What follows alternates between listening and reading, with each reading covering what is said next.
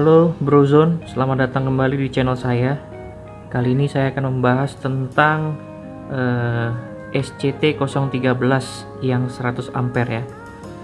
Jadi ceritanya saya ingin membuat uh, power meter yang bisa dimonitor dari handphone. Kemudian saya menggunakan modul uh, yang bukan uh, memakai bukan menggunakan transformer seperti ini tapi langsung colok ke modul tersebut. Kemudian itu kebakar. Di ini modul yang kebakar ya. Cukup parah bakarnya. Padahal saya udah pakai uh, kabel berapa ini? Kabel lumayan tebel ini. Lumayan tebel. Cuma saya menggunakan ACS 712 untuk mengukur arus. Cuma kebakar saya akan gunakan boardnya saja agar bisa dicolok ke sini. Saya akan menghilangkan uh, komponen-komponen ininya supaya bisa jadi tatakannya saja ke sini. Oke? Okay. di situ sih dibilangnya 20 ampere ya padahal arusnya kurang dari 20 ampere tapi modulnya terbakar. Lalu saya menggunakan yang model uh, eh, CT seperti ini. Jadi nanti kabelnya itu uh, dilewati di sini. Nah ini ada CT nya di sini. Current transformer ya. Fungsinya untuk mengukur arus PLN oke ini modulnya namanya SCT013 saya beli yang 100 ampere. Kemudian colokannya bentuknya jack seperti ini. Jadi kalau dilihat di sini uh, banyak modul internet ya. Banyak di internet tinggal cari aja cara menggunakan SCT013 ke Arduino Uno atau ke Arduino. Itu materialnya apa saja. Di sini menggunakan uh, tiga resistor ya resistor 10 kilonya ini 10 kilonya ada dua. Kemudian yang ini tergantung uh, apa namanya nilai nilai dari SCT013 nya kalau saya beli yang 100 ampere di sini di website ini nama websitenya nyebarilmu.com ya. Di sini dia bilangnya adalah perhitungannya didapat 35 ohm. Ini saya beli yang 35 ohm Oke. Nah, kemudian uh, rakit MCB ya seperti ini karena saya tidak punya bukan MCB ya, PCB ya. Karena tidak punya PCB jadi saya rencananya mau langsung uh, saya solder di sini saja. Oke.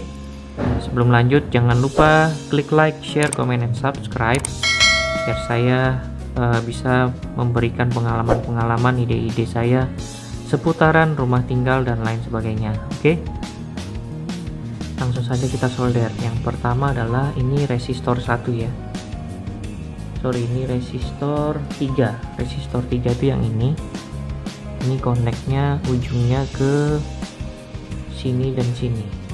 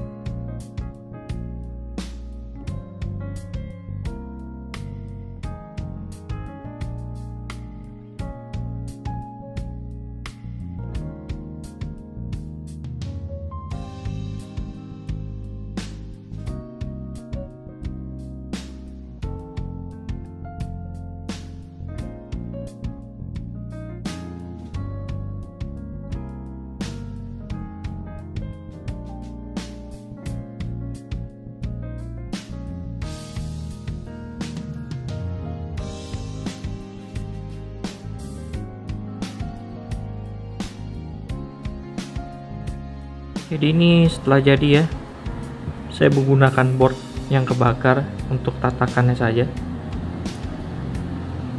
Jadi uh, yang ini yang paling kanan. Jadi yang paling kanan ini eh yang paling ya kanan itu adalah minus positif yang ini data ini bentuknya seperti ini. Saya menggunakan ininya saja. Ini sudah saya copot semuanya. Ini udah angus ya.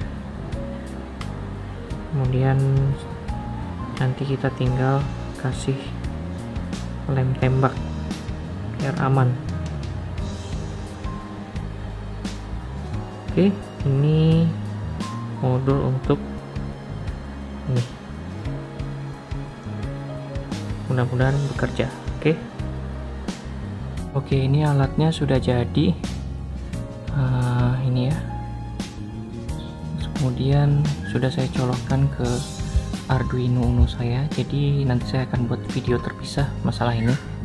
Ini alat-alat sensornya adalah saya pakai sensor untuk tegangan volt AC di sini menggunakan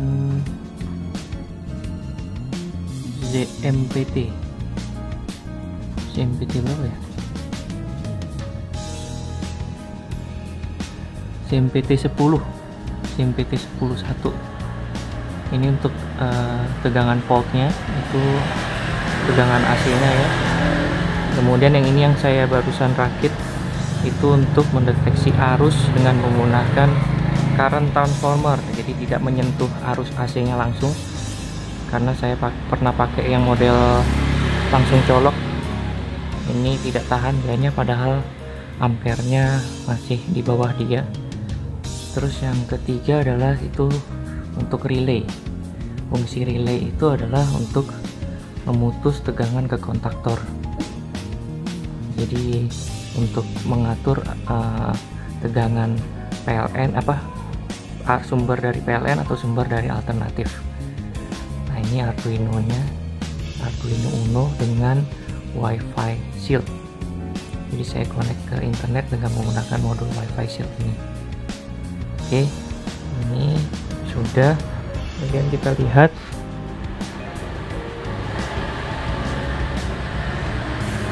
Oke terbaca. Voltase kebaca arus terbaca dan semuanya oke. Berhasil ya? Oke, jadi ini uh, saya sudah koneksikan Arduino saya ke Blink ya. Jadi saya bisa monitor juga berapa rupiah yang sudah saya keluarkan. Kemudian ada berapa arus, voltase PLN nih, ini sebelum stabilizer ya. Kemudian watt yang sudah saya gunakan. Kemudian di sini historinya. Nah, uh, saya buat ini fungsinya adalah yang pertama uh, saya ingin plan untuk buat solar panel terus kemudian saya merasa akhir-akhir ini dua bulan ini uh, saya ngisi pulsanya melebihi biasanya. Saya nggak tahu kenapa makanya saya buat monitor berapa yang sudah saya habiskan dan ke track historicalnya di sini.